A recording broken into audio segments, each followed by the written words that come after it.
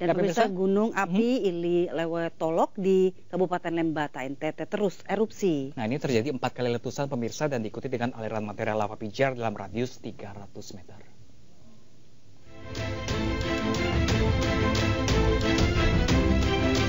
Aktivitas vulkanik berupa letusan eksplosif Gunung Ili Lewotolok di Kabupaten Lembata NTT terus berlangsung. Pagi tadi gunung kembali erupsi sebanyak empat kali letusan dengan kolom abu setinggi 500 meter.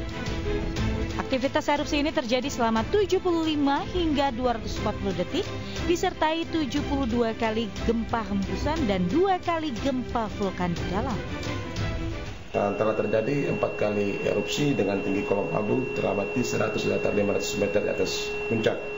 Uh, terekam pula gempa-gempa lain yaitu gempa hembusan uh, 27 kali, gempa tremor non harmonik 7 kali, dan gempa hybrid satu kali kejadian dan gempa vulkanik dalam yaitu tercatat dua kali.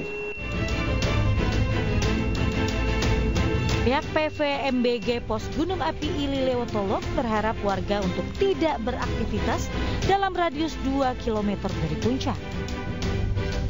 Dari Lembata, Nusa Tenggara Timur, Joni Nura Ayus melaporkan.